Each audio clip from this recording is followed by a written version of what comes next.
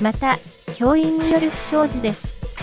宮崎市教育委員会によりますと、宮崎市の小学校で、2年生の担任の男性教諭30代は、2017年11月26日、資料の分析のため、自宅に USB メモリーを持ち帰り、その後、学校で使おうとした際に、なくなっていることに気づいたとのこと。この USB メモリーには、クラスの児童24人の名簿や顔写真のほか、昨年度に受け持った児童の分も含む通知表の所見欄の内容など、合わせて52人分の個人情報が保存されていたということです。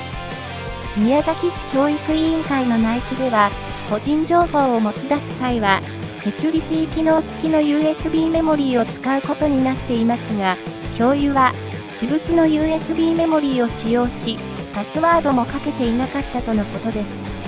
今のところ、個人情報の流出は確認されていませんが、学校は12月6日、紛失を報告し、謝罪する文書を児童を通じて保護者に配布しました。宮崎市教育委員会教育情報研修センターの荒竹地方所長は会見で、個人情報の取り扱いについて、さらなる指導を行い、再発防止に努めますと話しました。